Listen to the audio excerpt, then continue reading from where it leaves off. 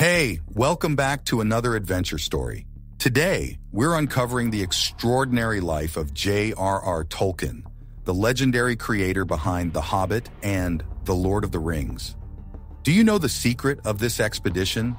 Maybe you are thinking about what these are. Don't worry, be with me as we uncover the secrets of this master storyteller, from his childhood passion for language to his lasting impact on modern fantasy.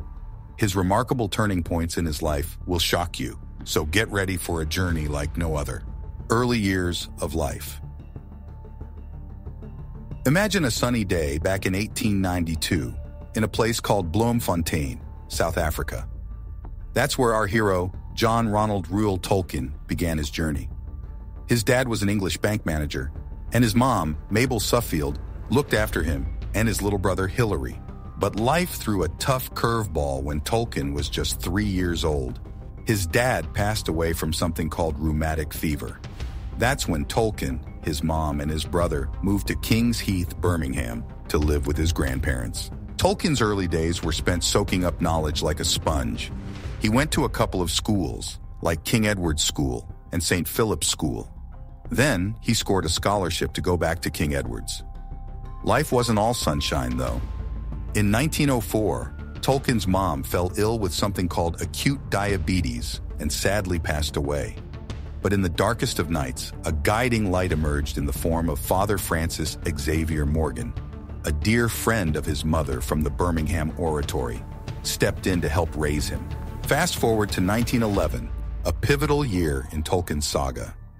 With dreams as vast as the Shire and ambitions soaring higher than the eagles of the misty mountains, he set forth to Exeter College, Oxford. At first, he was into studying ancient stuff, but then he switched gears to English language and literature, and boy, did he excel. He graduated with top marks in 1915. Now, let's talk about creativity. In 1913, while at Exeter College, Tolkien penned his first poem, From the Many Willowed Margin of the Immemorial Thames. Quite a mouthful, huh? It got published in the college's magazine, and that was just the beginning of his literary journey. So, it was about the early days of J.R.R. Tolkien, filled with ups and downs, but always leading toward greatness. Stay tuned for more tales from this master storyteller's life. Livelihood. In 1909, J.R.R. Tolkien embarked on his literary journey, penning the first lines of what would become the Book of the Foxrook, a humble notebook that would later stand as a testament to his imagination. But this was just the beginning. As he delved into the Book of Lost Tales, crafting tales like The Fall of Gondolin, Tolkien's path took a dramatic turn. In 1916, the call of duty led him to the trenches of the Lancashire Fusiliers, where he faced the horrors of the Battle of the Somme. Stricken with trench fever, Tolkien bid farewell to the battlefield in 1920, retaining his rank of lieutenant. His journey then led him to academia, where he made his mark as a scholar at the Oxford English Dictionary and the University of Leeds. But it was in the realm of storytelling that Tolkien truly shone. With the Lord of the Rings trilogy, he captured the hearts of readers worldwide, cementing his place in literary history. Yet, Tolkien's creative well knew no bounds. From whimsical tales like The Father Christmas Letters to the timeless adventures of Tom Bombadil, he continued to enchant audiences of all ages. Though he left this world in 1973, Tolkien's legacy endures, a testament to the enduring power of imagination and the magic of storytelling. Important publications. Now, close your eyes and imagine it. The year is 1926, and Tolkien, our intrepid hero, finds himself faced with a quest of legendary proportions. Armed with nothing but his wit and his trusty quill, he sets out to translate the ancient epic poem Beowulf. But hold on to your hats, folks, because this is where things get truly fascinating. You see, this masterpiece of translation wasn't unveiled to the world until 2014, long after Tolkien had embarked on his final journey. That's right, my friends, and talk about leaving a lasting legacy. But that's not all. Fast forward to 1937, and Tolkien unleashes upon the world his crowning achievement, The Hobbit, a tale of adventure, of daring deeds and perilous escapades, all set against the backdrop of Middle-earth's most fantastical landscapes. And get this, folks, it was originally written for adults. But wouldn't you know it, the whimsical charm and heartwarming tale captured the imaginations of children everywhere, proving once and for all that age is just a number when it comes to great storytelling. But wait, there's more. As Tolkien's legend grew, so too did his ambition.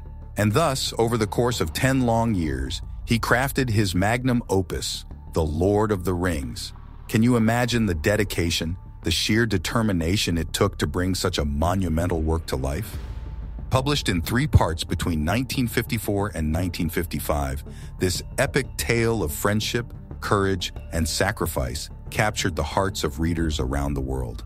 Achievements. His achievements extended far beyond the realms of literature. In 1954, he received honorary degrees from the National University of Ireland and the University of Liège. Queen Elizabeth II honored him as a Commander of the Order of the British Empire in 1972. The Silmarillion earned him the Locus Award for Best Fantasy Novel in 1978.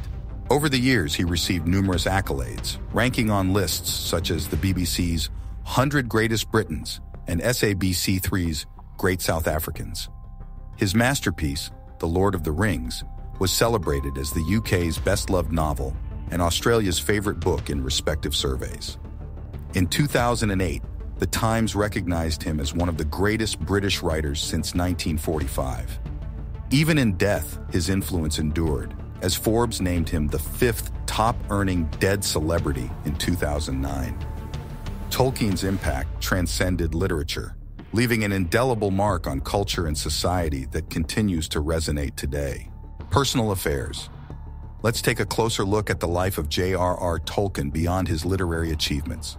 Tolkien's personal journey was marked by love, adversity, and enduring legacy. At just 16, he found his soulmate in Edith Mary Bratt, but their romance faced hurdles until he turned 21. In 1916, they exchanged vows and embarked on a journey together blessed with four children. Yet tragedy struck with Edith's passing in 1971, and Tolkien followed her just 21 months later, their love story transcending even death. However, his son Christopher ensured that his father's legacy lived on, posthumously publishing works like The Silmarillion. Tolkien's literary masterpieces, including The Lord of the Rings and The Hobbit, were not confined to the pages of books, but immortalized on the silver screen, captivating audiences worldwide. Today, Oxford University honors his memory with the J.R.R. Tolkien Professorship, while Tolkien Reading Day serves as an annual celebration of his enduring influence in schools worldwide. As we stroll through cities like Birmingham and Oxford, adorned with blue plaques commemorating his association, we're reminded that J.R.R. Tolkien's legacy is not just a literary one, but a testament to the power of imagination and the enduring impact of storytelling. More facts. His linguistic prowess extended across a multitude of languages, encompassing Latin, French, German, Middle English, Finnish, and more, driven by his insatiable thirst for linguistic knowledge. This passion for language construction gave birth to Quenya and Sindarin, two intricately developed tongues that laid the foundation for his legendary tales. At Oxford, he delved into the depths of Old Norse and Old English, further enriching his linguistic repertoire.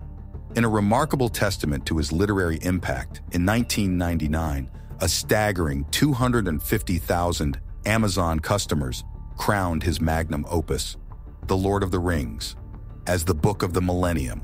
Today's video is packed with excitement, and I hope you enjoyed it as much as I did.